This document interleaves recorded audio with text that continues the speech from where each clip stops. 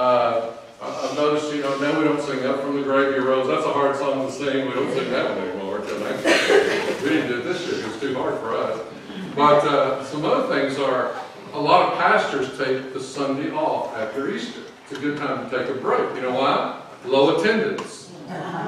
Y'all just show up just because y'all don't know any better. You know? Y'all to church because it's Sunday, you know. But but normally that's the norm. You take you take that Sunday off. Can y'all hear me okay? Yep. I, I know I probably need this for them in there, so if you can keep working on that. Otherwise, I can talk loud. Uh, I have eight kids, so I'm used to yelling. right? Can you hear me? What? Can you hear me? Yeah. But anyway, uh, so, so usually the Sunday after Easter is, is always this, this kind of strange Sunday and and uh, what I'm going to do this morning, I'm going to continue that story that I finished on. You ever heard Easter? Yeah. Did you have a good time? We said, well, I good. Man, just, uh, the Lord just seemed to bless that and never preached on this. And so I didn't get quite finished because, you know, you guys have ham in the ovens and the bunnies are milking outside. And all, I know the activity that goes on there, you know, being a father. And, and, and so uh, I cut it a little short. But I want to finish the story. May, may I do that this morning? Yes. All right, may to finish that story. So, uh, if you have your Bibles, you're going to turn to Luke chapter 24. And there's not a lot of notes up there, but uh, uh, I kind of told the story last week. I, I want to revisit that story and, and tell it again. Thank you for those of you who sent me emails, uh, long emails, some of you. And uh, thank you for those emails and, and comments about last Sunday. I appreciate it. What happens when we see Jesus?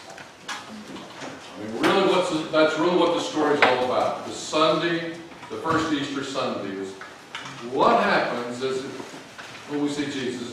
When we see Jesus, does he really make a difference in our lives?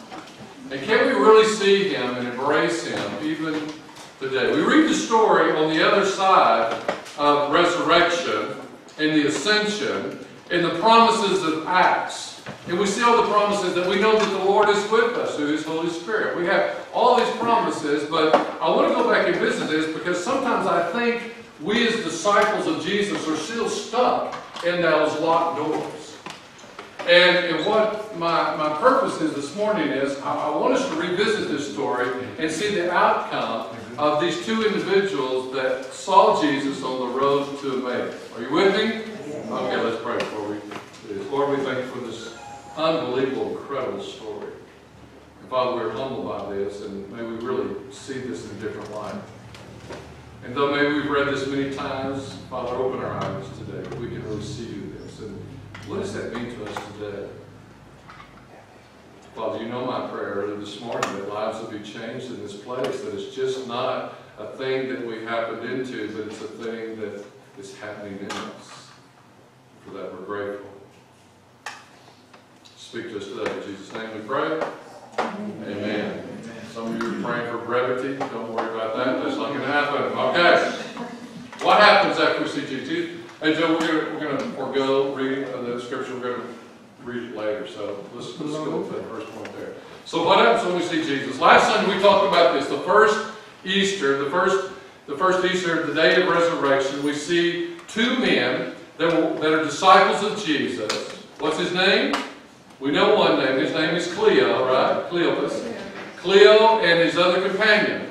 And we know that they have been with the disciples. They've heard the stories about the resurrection, and yet they've chosen to leave because they're disappointed. They're heartbroken.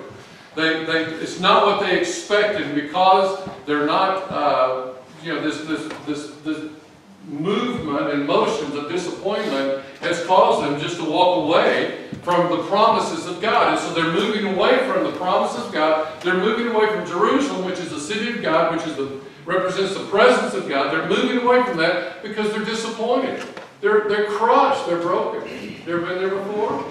You just don't know what to do. You find yourself kind of slipping further and further away.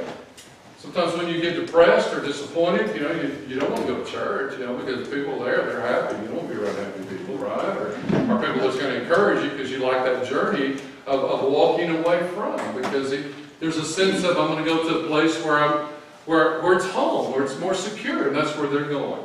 They're going to Emmaus. And so they're on this journey. They're disappointed, they're heartbroken, they're confused, they don't understand what's going on. And I need to plug this in. Though. And, and so they're walking away, there's nothing left. And what, is, what happens in this story that we looked about last Sunday is that Jesus comes to them that are walking away. Isn't that kind of cool? Even though they're walking away from the promises of God, they're walking away from what God, what Jesus told them to do. That He said, stay in Jerusalem because I'm going to show up there later. Be faithful to me. And they're walking away from that. But Jesus shows up to them even though they're walking away. I want you to touch your neighbor and say, even though you're walking away,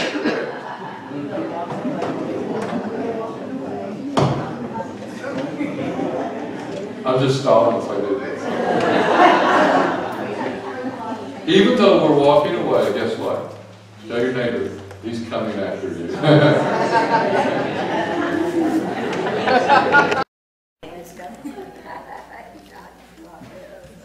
and so in this in this when Jesus shows up, they're walking away. He says, Hey guys, what are y'all talking about? I like that. We, we talked about I don't want to rehearse that too much, but what are you guys talking about? He didn't get them in the headlines. So where y'all going? Get back in there. You know, they didn't do, he didn't do that. He just, what are y'all talking about? And they look at him and say, Don't you know? Where have you been? That's kind of funny to me. Where have you been? And, and, and then they begin to tell him. And then Jesus has this conversation with them. I want you to see this because we're going to be looking at this story and he reverses this. He does the same thing that he does with these men. He goes to their home, he eats with them, he has a conversation about who he is, he shows himself to them. The same thing happens is just when they get to back to Jerusalem.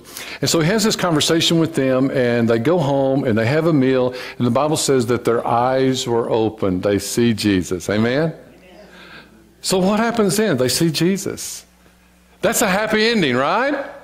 That could have been a period mark right there and just said, well, they see Jesus and they're happy and their lives are changed and put a period there and there's a happy ending. How many of y'all like happy endings? How many of y'all watch the Hallmark channel? You know, isn't that, isn't that amazing? The Hallmark Channel, yeah. And, and, the stories are, you know, there's there's relationship, and then there's broken relationship, then there's problems, and there's there's more problems, and they don't know how to do the problems, and they resolve the problems, and there's a what? A happy ending. Everybody loves a happy ending. It reminds me of a little boy that went to the went to to a place to buy a dog. He finally is going to get his first dog, and and dad says, you can pick out any dog that you want to pick out and he's looking at them, and you know all those puppies. Yeah, yeah, don't y'all love puppies? We raise golden retrievers, and they're they're happy dogs. They're the dogs that are on the Purina dog chow picture because golden retrievers are happy dogs. You know, they have that personality like your preacher does. You know, golden retriever. He's just happy to be here, happy to be here, happy to be here. You know, and and and uh, and so he picked out this dog, and and his dad said, "Why did you pick out that dog?" He said, "Dad, did you see his tail wiggling?" He said, he just wiggle, wiggle. He says, Dad, I love happy endings. anyway, so that was my that was my Easter joke. I didn't get to tell y'all that. So, so now what? So they see Jesus. So now what? We see the rest of the story. I'm going to give you three points. First of all, we're going to see after they see Jesus, here's what happens. There's a change of heart. There's doors of opportunities. And the, then they see, they see the presence and the power of the resurrected Jesus Christ. You in? Okay, number one, a change of heart. We're going to look at verses 31 through 32.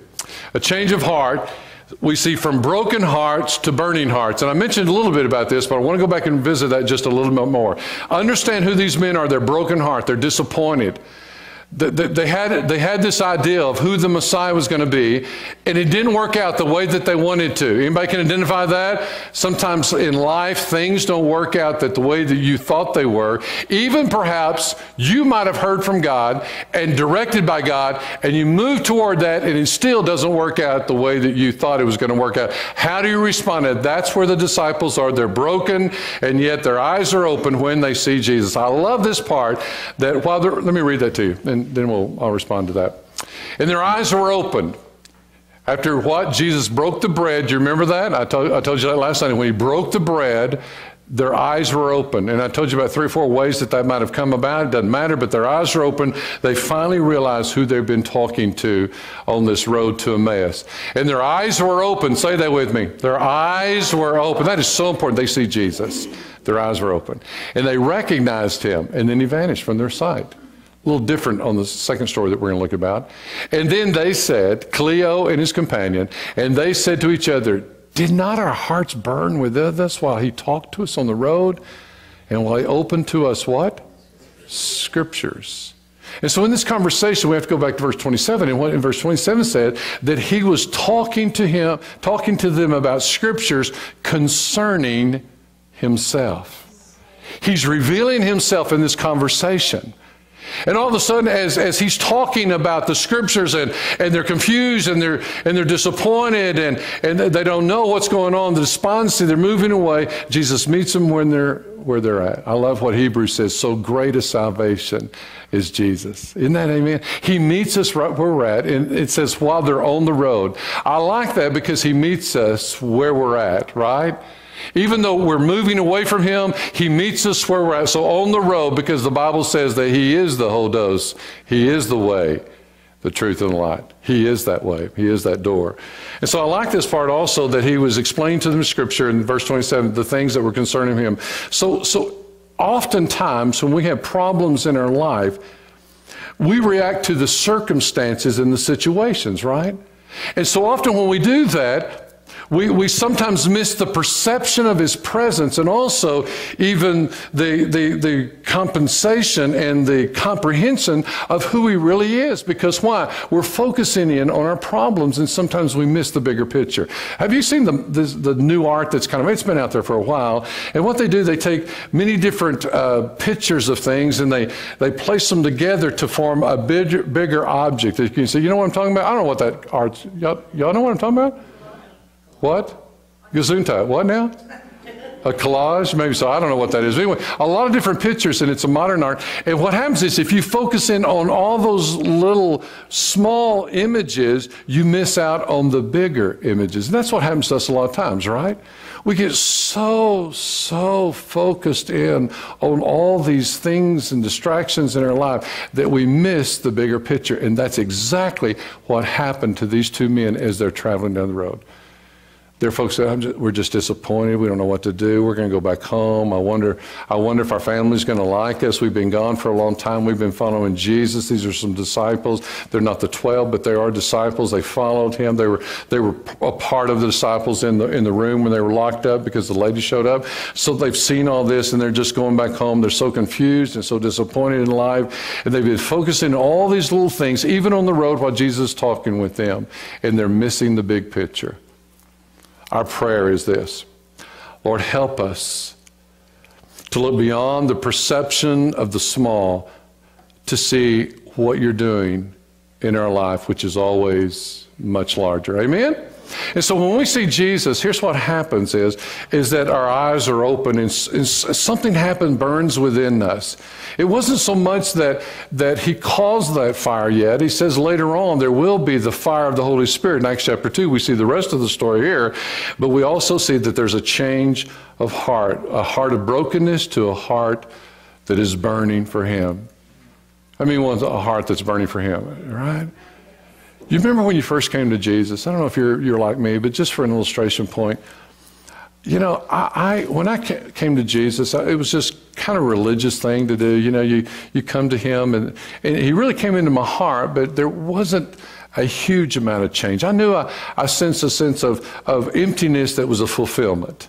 And I knew Jesus came into my life, But it was later on when, when I began just to wonder in life, and, uh, you know, as much as a 15, 16 year old can do legally. Anyway, and so there was that, and it was moving away from him, but, but he came to me while I was moving away. This same story, it's my story. And, and while I was moving away from him, he came and spoke to me and said, Son, what are you doing? It, it, that changed my, my, my desire I had Jesus, and I knew Jesus, like these men. They, they knew Jesus, they had Jesus, but was drifting away. And something happened that caused them to have a heart that is burning for me. I, I, I, love what Jeremiah says. He says, Every time I mention the name of, of God, I get into trouble. And he did. I mean, he, he was just 24 hours out of being shackled in, in, in, the square. And when you were shackled in the square in the Old Testament time, they would come and they would, they would spit on you and they would hit you. They would kick you in the face. They had total liberty to do whatever they wanted to. 24 hours, he was just locked up in the square and they, he was abused. And he comes back and he said, Every time I mention your name, God, something bad happens to. But it's, but, but it's like a fire burning deep within my bones, and I must do that. And that's what it is when you see Jesus. And if you're here today and you just kind of lost that cutting edge, today I encourage you look, look at who we're following.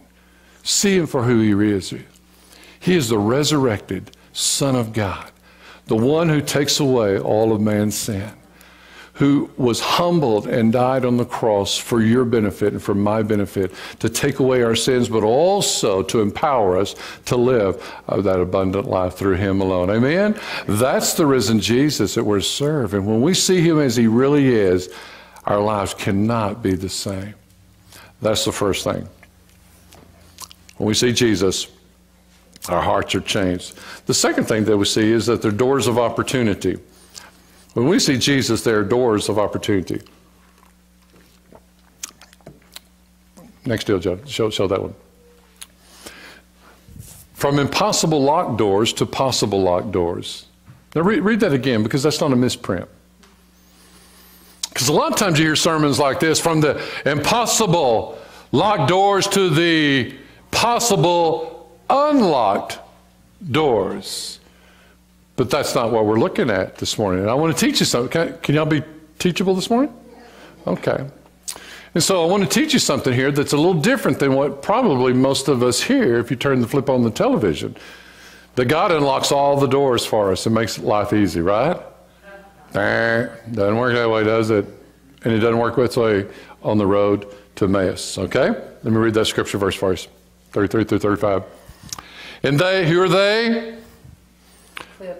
Come on, y'all stay with me, man. Y'all want to get out before noon? Okay. In California? Okay. And they rose that same hour. They're talking about Cleopas and his companion. What happened to them? They just saw Jesus. And then he disappeared, and they go, Man, our hearts are burning. No wonder our hearts are burning. Man, we've, we've got to do something with this. Our hearts are burning. That's what burning hearts do. You've got to do something with it. You've got to release it, just like Jeremiah. You can't contain Jesus. When Jesus has all of you, you're uncontainable. Amen? yeah, that's why we have religion. Okay, they rose that same hour and returned to where? Where were they coming from? Where was Jerusalem? It was a place of sorrow and pain and disappointment, right? Do, do y'all understand the full circle? We, that was the title of the sermon yesterday, or yesterday was Sunday. You know, the full circle, the return trip, that's, that's, that's the resurrection. And so here we are, the return trip. Here they go. They got, they're going back to where they just left. Pain, sorrow, disappointment, perhaps death. They saw Jesus crucified. They knew the result if they continued to follow him. They probably could be crucified like Christ. Anybody for that? Don't think so. Let's go the other way. The other way looks better than that way, right? They go back there. All right. If any man desires to come after me, what? He's got to go back to Jerusalem, right? You got to deny yourself, take up the what? That's his words. Okay. and they found the 11. Who are the 11? Okay, all right. And those who were with them gathered together, saying, The Lord is risen indeed, and he has appeared to Simon. And then they told what happened to them on the road to Emmaus, and how it was known to them in the breaking of the bread. That's a pretty cool story right there. They go back and they're excited about there. There's a after after you know the crucifying on, on that first Easter, the disciples where are they at? They're locked away. John chapter John chapter 20 verse 19 gives a little bit more indication where the disciples on that first Easter Sunday. He specifically says they were behind locked doors. John chapter 20, verse 19. And so they're behind locked doors. We don't see that in here, but we know that they're in Jerusalem, and we know these guys are with them because they just said, yeah, when they were talking to Jesus, yeah, the, we, we heard the women, the women said that there, there was a resurrection, but we don't believe that, and, and now we've left. And so now they're walking away, and yet now they're going back. Let me tell you this burning hearts doesn't mean the circumstances change. Can I say that one more time? Just because you have a burning heart and you've seen Jesus and now you know the resurrected Jesus, it doesn't mean circumstances are different. Because here's where they've been. They've been with the disciples. Now, now kind of go with this a minute. Let me tell this story a little bit. And so they've been with the disciples that first Easter morning. And the ladies have come back and they said, Man, we've seen angels. We, have heard that Jesus is alive. They've heard that same story and they've hung out there. And finally they, they look at one another, Cleopas and his companion, and they said, What are we going to do now? I said, I, I don't, let's just go home. L- let's just go home. I don't think anything's going to happen. And they leave the disciples, and where the disciples, they're locked away in a room. So can you imagine when they leave, the disciples say, Hey, y'all lock the door behind you, you know? because they're fearful. And so they know where to find the disciples. And they've heard that locked door, and they're going back. And so when they get there, now, now, now wait a minute. When God speaks to us, doesn't He unlock the doors and make it really easy for us? He doesn't. They go back to those locked doors again. They're pounding on the door, you know. You know, it's us. They've got the doors locked. They're scared to death, right? They're still locked away. You, can, I, can I say that a little bit more? Sometimes we have this ideal, and I don't know where we get this from, that if we hear from God and God commands us to go in a, in a direction, and we're being obedient to Him, that He's going to open all those doors up for us, and it's going to really be an easy way. He's going to make it very easy for us because He's unlocked the doors and we don't have to do any unlocking, right? Where do we get that from? Right? I mean, most of us in this room, we, we kind of say, well, I don't, I don't think it's of God because He just, that door's still locked. Now, I know, I know we, you know, we struggle with that, and I struggle with that. You know, how do you know God's will? Number one question, how do we know God's will? Well, if the doors are unlocked, that's God's will, right? Not necessarily. Because you can unlock doors yourself. Yeah? How many of you unlock the door and you go, I wish I hadn't done that. That didn't work out, right? Yeah, who let the dogs out? That's a great song. That is so secular. I don't know where you're at. We're being so spiritual here. We have to edit that on YouTube. These things go in there. And so, who taught us that idea? So I really want you to get, hey, can y'all listen just for a second? I'm telling you, when we see Jesus, he's, he opens these doors, but sometimes those doors are still locked. We're talking about the doors of opportunities, whether they're locked or open. Amen? Are you with me so far? And so, what we're talking about, he gives us these opportunities. And sometimes they seem so impossible, but He makes a way that is possible, but they still may be locked doors. Can I give you an illustration? Mark chapter 2. Mark chapter 2, don't turn there. Mark chapter 2, it's a familiar story. Is that all right? Oh, excuse me. You can turn there if you want to. Mark chapter 2 talks about this story. Y'all know the four men that uh, had, had uh, the, well, the paralytic had, a, had, a good, had four good friends. And that paralytic who, who could not walk, who was bedridden, don't know how long, how long he was, but he was bedridden for a long time. And he had four good friends, and they heard Jesus was in town. And the four friends, y'all know the story now? And the four friends, they said, We hear Jesus in town. Let's take him down there because we believe that he's going to be healed. And you know the story. It says there that when they got to the house where Jesus was, let me tell you a little bit about uh, in, in Jesus' day, the houses there, most of the houses were one big room. And some of them, uh, uh, archaeologists tell us, uh, even some of the rooms are big enough to hold 50, 60, maybe even 70 people. So it's a pretty good open, airy room. And the roofs there, not like the roofs here, made out of metal, but they're thatch roofs or, or mud roofs, so they're easy access. So these men, I think they were carpenters, they were construction guys, because they, they've got a plan here. So they get there, and the Bible says that, that there was a crowd there. And Jesus was teaching, and it was so crowded, the Bible says specifically, that even the doorway was unacceptable or unaccessible. And so they couldn't even get in because the door was what? Say locked. Yeah, it was locked they, with people. They couldn't get in. And so the theology that we've bought into, if those men had bought into, would say, well, we tried. I guess it's not God's will that our friend is healed today, right? We can't get in. and that'd been the end of the story, right? Thank goodness for men and women that have faith. Faith is the substance of what? Things hoped for. The evidence of what? Locked doors. That's it. And so I, I, I, think these are good old boys. I think they're from West Texas, really, because they're good old boys. Uh, we just don't take no for an answer.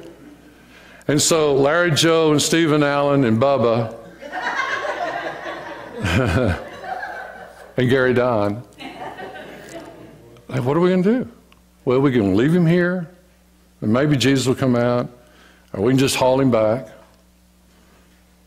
Or maybe there's another way. Sometimes when the door looks locked, I think we got to get a different perspective, a higher perspective. How's that? We got to look up, right? That's pretty good right there, right? You know, that'll, that'll preach right there. And so they go, I saw a set of stairs back there. Do you see those? Yeah. That's why I think they're construction guys. They saw the stairs. I built this house, you know, and yeah, I think there's some. Let's let's go to the roof. Let's go up there. Guys, I think sometimes when doors are shut, we've got to we've got to look at a different perspective here. And even though it's locked and even though it looks like we can't get in, there are ways that we can handle this when we look at it at a higher level than what we're looking at.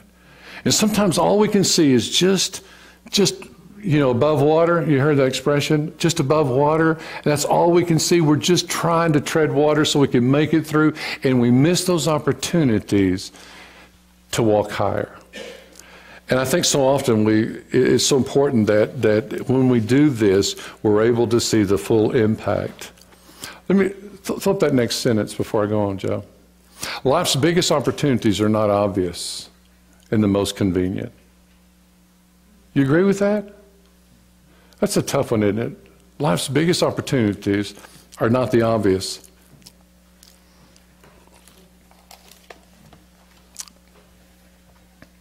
You ever heard the expression through the roof? Prices are going what? Through the, what does that mean? It means that what they're higher, right? Here's where we get that expression. So these four men, they go, we're going on the roof and we're going to dig through. Can you imagine that? I mean, sitting in that room, if there's there's more than 50 of us, but let's say we're, we're all gathered here, and all of a sudden we hear something up there. What is that? You know? Brian, go check that out up there. I'm not. I'm, I'm teaching here. Brian, go hear that. Do you hear that noise up there? What is that noise up there? And they're teaching. They're they're you know. They, all of a sudden you see dirt falling in. Can you? That'd been a pretty cool story, right? And what the heck? And and and then all of a sudden you see some hands, and they're pulling this back. And then you, then you see this guy being dropped in, you know. I don't know how they dropped him. Maybe they just dropped him. I don't know, you know. I, but somehow he gets in. Maybe they had rope. I don't know the story. But, you know, they drop him in there.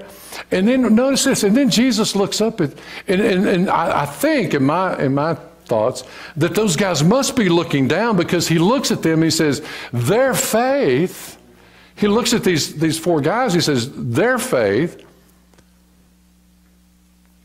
and then he looks at this guy and he says, Your sins are forgiven. It's kind of a strange deal.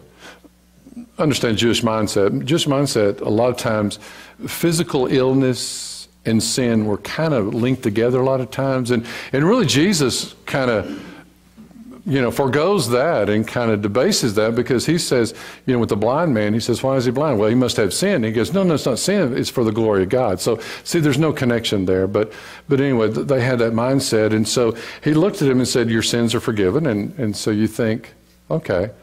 But I'm, I'm thinking those four guys up there, they, because what they did, they, they saw this door of that was crowded, this this obstacle, this disappointment that they couldn't get their friend in, and rather than just staying at that door of disappointment, they said, "Let's go make another way."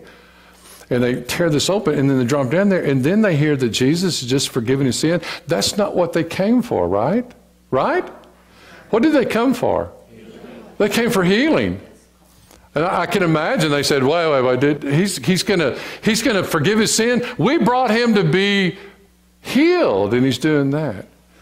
Do y'all know sometimes Jesus bypasses what we want to give us what we need? Y'all know that? And so sometimes we ask for things that we think we need, but he gives us really what he wants. I'd rather have what, what, what, we, what we need rather than what we want sometimes. And so he does that. And then what happens is in this conversation that some of the scribes were there and these guys were pretty critical of Jesus, and those, so they looked at them and said, "But uh, who does?" And they're not saying it out loud. The Bible says they're thinking that in their heart. So they kind of perceive that, and that in their heart, and Jesus perceives that that they're they're making these comments in their heart, and they're saying, "Who does he think he is that he can forgive sin? That's blasphemy." And Jesus just calls them out on it. He says, "I know what y'all are thinking over there." And, and I did forgive his sins, but, but that's greater than just causing him to walk. But I'm going to do it anyway. And he, he looks to this guy and he says, Rise up and walk. You know? And sometimes our opposition sometimes is sometimes locked doors, right?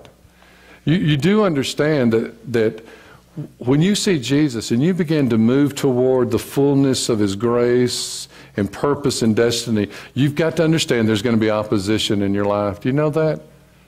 There's, there's always going to be that opposition. In other words, people aren't going to like you. And people aren't going to think you're just this wonderful person and that, that, that what you say and, and being obedient to God, that everybody's just going to go, oh, you're right. It just doesn't happen that way. You know that? And sometimes when opposition comes, what are you going to do? You see, when you see Jesus, there's going to be op- opportunity. We just said that. There's going to be doors of opportunities, but you've got to understand there's going to also be doors of disappointment and doors of opposition. How are you going to handle that opposition? Do you know what I really think the, the neat thing about that story about the four guys? We can say the four guys are the heroes, we can say the healing. Jesus is always the center of everything, by the way. But I think what we see is that opposition, how Jesus deals with that and that he makes a way, even in the midst of opposition. So some of us can rejoice. Some of you, you know, you have people in your life that just have rejected you and turned against you and have hurt you. Do you know that's still a door that the Lord can use in your life? Amen? God never wastes a hurt. And so he can use that in your life, that opposition and, and, and people that have rejected you and turned against you. And I think life's biggest opportunities are sometimes opposition. When we see Jesus, there's a change of heart, brokenness to burning. When we see Jesus, there are doors of opportunity and, and, and disappointment, opposition. And third of all, when we see Jesus, there's a present and power of the resurrected Jesus. From invisibility to invincibility. We see a change here, and this is the best part of the story I like in this, and we see kind of the end of here. It's a little confusing to us because we, we know that this is the first Easter morning, and then we see the ascension of Jesus toward the end and, and, the, and the foretelling of that, and there's a 40 day period there. We don't see that in here, but, but we know it's happening, and I'll, I'll explain that in just a, a few more minutes here. Now, understand here, the disciples are locked away. Their initial response to the death of Jesus was, was just total devastation, unbelief, and hiding. It's interesting to note that when Jesus showed up in his resurrected body, the number one thought and the number one process in those that he revealed himself through was unbelief and disbelief, and also fear and isolation in all those.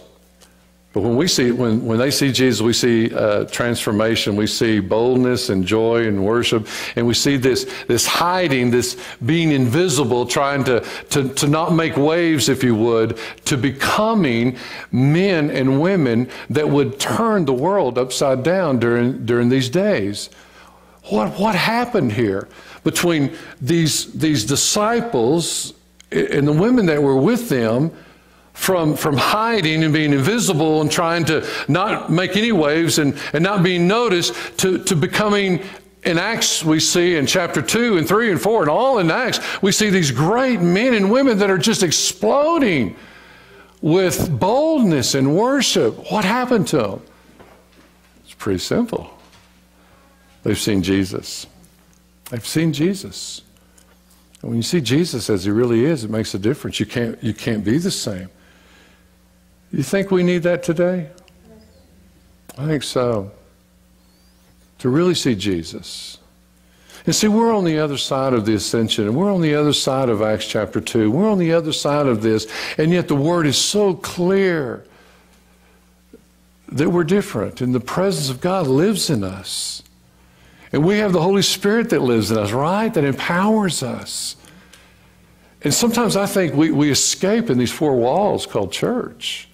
And that's our security and that's our, that's our blanket. And we can, we can come here and encourage each other because we know the world is going to be hard. And, and, and we, we encourage, and yet we're so fearful to go out in the world. And we feel good here. Sometimes I think we're not Acts chapter 2 church, but we're Mark chapter 24 church.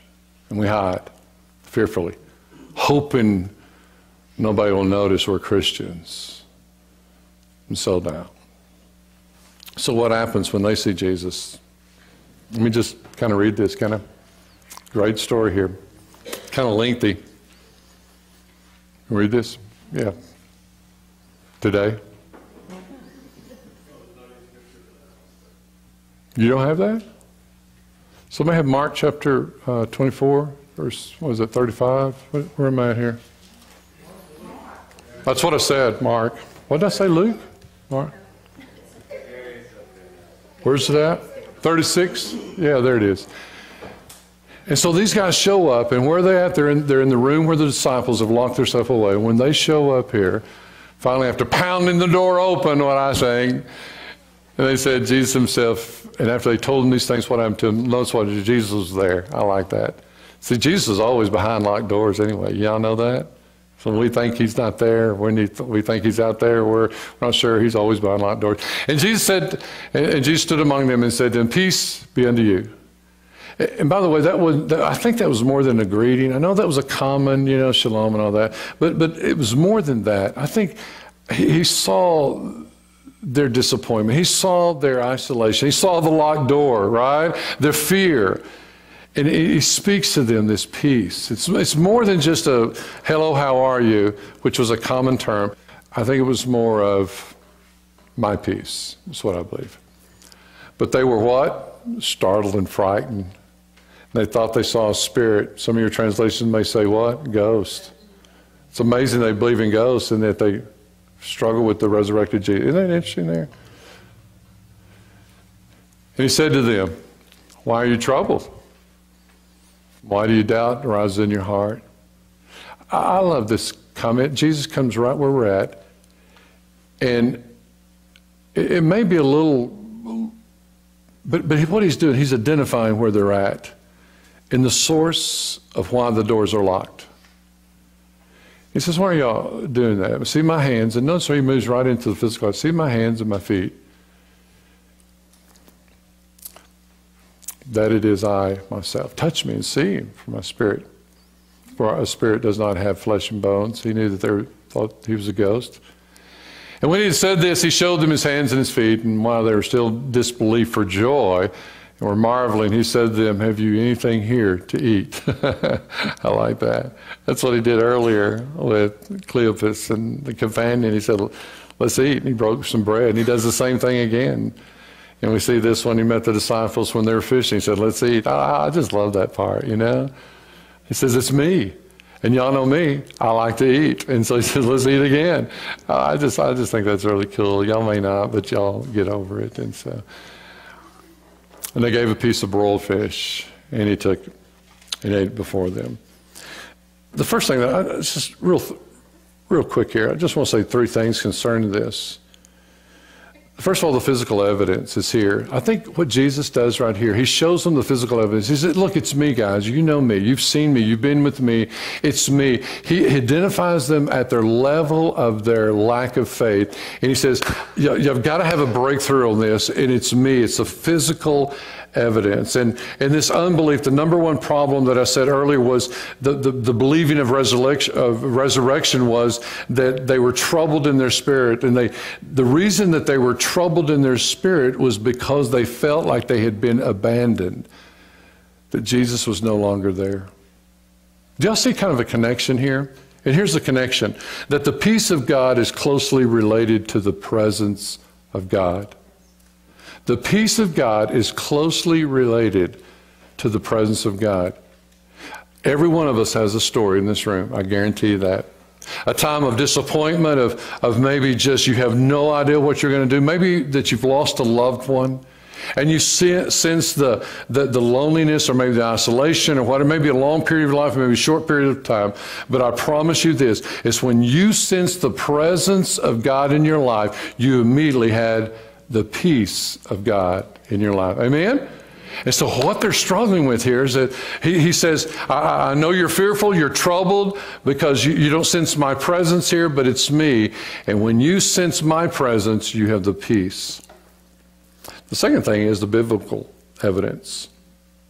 And we began, he began not only as he, he told, it's me, guys, it's I'm here, I, I'm alive, but also he begins to show his purpose and the promise of Jesus. Let me show you that. Throw that up there, Joe. And he said this, and these are my words that I spoke to you while I was with you, that everything written about me in the law of Moses and the prophets and Psalms must be fulfilled. Then he opened their minds to understand the scriptures. Y'all understand that, that you can read scripture after scripture, but you must understand now that we have the Holy Spirit, that is the Holy Spirit who teaches us the Word of God. Amen?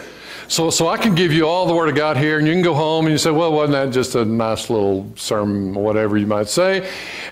Yes, to understand to really get that into your soul, into into something that rhema, if you would. You need the Holy Spirit to speak that into you. So, so that's why Paul said to Christians, to the churches all the time, said, "Man, would y'all grow up?" Quit just drinking milk and get some spiritual nutrients and get the meat of God and dig into that. And the only way you're going to get that is through the presence and the teaching of the Holy Spirit of God. Understand that, right? Not a degree, but the presence and teaching of the Spirit of God. And then he opened their minds to understand Scripture and he said to them, Thus it is written that the Christ should suffer and on the third day rise from the dead. That repentance of forgiveness of sins should be proclaimed in his name to all the nation beginning in Jerusalem. Notice what he said. He said, And you are what? you're witnesses of these things. And behold, I'm sending the promise of my Father upon you and saying that city to your clothed with power on high. And what he's talking about? He's talking about Acts chapter 2, where we see the, the filling of the Holy Spirit, the coming of the Holy Spirit, and the power of the Holy Spirit. There. You know what caught my mind on this? And that Jesus isn't saying, I've got a new teaching for y'all. He didn't do that. And so often, I, you know, if you ever flip channels, I, I must confess to you, I watched just about 10 minutes this morning of a televangelist. And, and just about 10 minutes. And, and whatever. Anyway, uh, um, and uh, I watched it and I go, you know, there's got to be more. And I'm, I'm not saying, you know, anything here, but I'm just saying there's got to be more. And I listened to that and I thought, we need Jesus, and he needs to be the focus of everything that is taught, right? And when he's doing this, he says, I'm going to teach you these things and I'm going to empower you these things. And it's not going to be a new teaching, it's me. Isn't that what Jesus said? And you know the scripture for John chapter 1. In the beginning was the, and the Word was, and the Word, and then verse 14, and the Word became, and what? And that's what he's saying right here. He said, Remember what I told you? It's, it's my word, it's a fulfillment of everything. It is me in the Word, and the fulfillment of all Scripture is found in me. And he gives us biblical evidence of who he is. He says, first of all, he says, here's the physical evidence. Look, look, it's me. Look, look at the hose here. Look, it's me. And then he says, and here's the prophetic word. He opens his mind, the minds up to those that are just searching. What did, what did he say about this? And did he lie to us? And all the confusion, but he says, it's me. I am the word of God. I am the word. I am the word. I am the word. Changed hearts and minds always reflect the word of God. Finally, then we see the personal evidence. Look at the very last of this thing. There's got to be a change here. What's, what's last, Joe? Personal evidence. Yeah, there you go. Keep going transform lives from invisibility to invincibility. What changed their lives? And he led them out as far as Bethany. And lifting up his hands, he blessed them. And while he blessed them, he, part, he parted from them and was carried into the heavens. And they worshiped him and returned to Jerusalem with great joy. And were continually in the temple blessing God. From distraught, disappointed, dejected disciples, now they're transformed. What happened to them? From locked doors to now they're publicly worshiping. Look what it said that they're publicly worshiping these temples. From being isolated, from trying to be just invisible to changing the world by their lives. It's, it's amazing transform. They saw Jesus.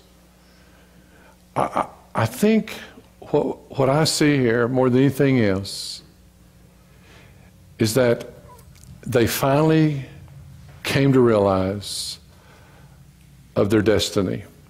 And by that, I just simply mean that they realized that, that all this time, Jesus had been preparing for this moment of his departure and the fulfillment of Scripture and the empowerment of the Holy Spirit, uh, of the Scripture, uh, of the Spirit, would lead them to a place of fulfillment, but also of purpose and power that they were able to leave that locked door and to go into the streets and proclaim, even at the point of their own death. Can we say that about us? Romans. Here's a scripture verse for us today, and this is it. If the spirit of Him, of who's Him? Jesus. If that same spirit of Jesus, the resurrected spirit of God, if that same spirit of Him who raised Jesus from the dead dwells in who? You and me. He who raised Jesus Christ from the dead will also give life to your mortal bodies through his spirit who dwells in you. Amen? The resurrected Jesus living in us. That's what it's about, folks. And so, so rather than, you know, looking at our lives and being focused on all this, when we see Jesus, I want you to know that our hearts are changed. I know we're going to have disappointment, but from disappointment, we come in to the realization that He burns deep within us, and we must release it. But also, we see when we see Jesus, we see these opportunities all around us. And this is my prayer for you this week and for me. That in life and in going from, from whatever you do, that these opportunities will arise itself, and we would have spiritual eyes to see these opportunities and seize these with the power and the Spirit of God living within us, that we'll be able to be faithful like the disciples were.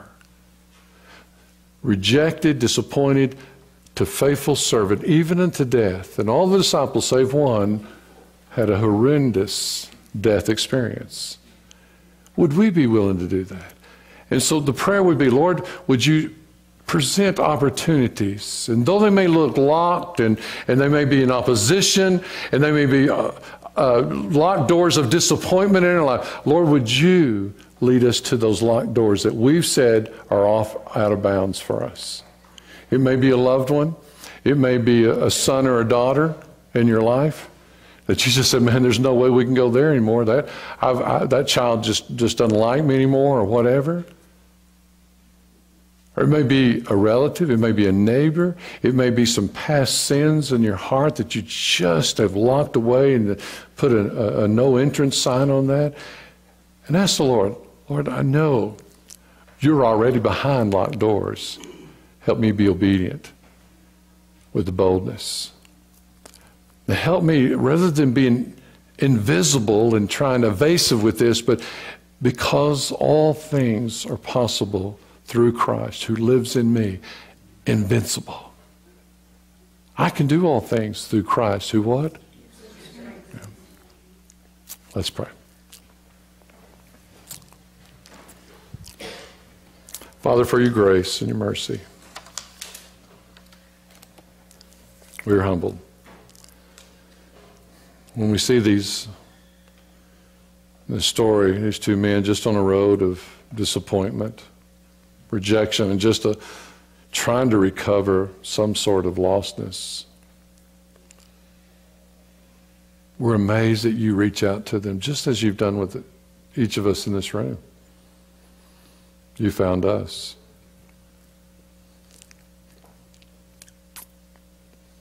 Lord, forgive us when we've allowed disappointment to rule our walk with you, our journey with you. Help us today to realize that we have seen you. We have you in our hearts and our lives. Help us to turn our eyes toward you. Help us to see who you really are. And so that our hearts will be aflame and opportunities will always be a possibility. And that the power and the presence of the resurrected, living Jesus Christ through the Spirit of God moves us to boldness and a witness to others, the testimony who Jesus really is. Help us to be your witnesses in all our lives. So, Father, we, as we turn our lives over to you in our hearts, we thank you for that. In Jesus' name. Just with our heads are bowed and eyes closed, I, I, I think you know this. I'm going to play this song and let's sing this together. Just turn your eyes upon Jesus. Let's make this just our prayer. Words are turn your eyes upon Jesus.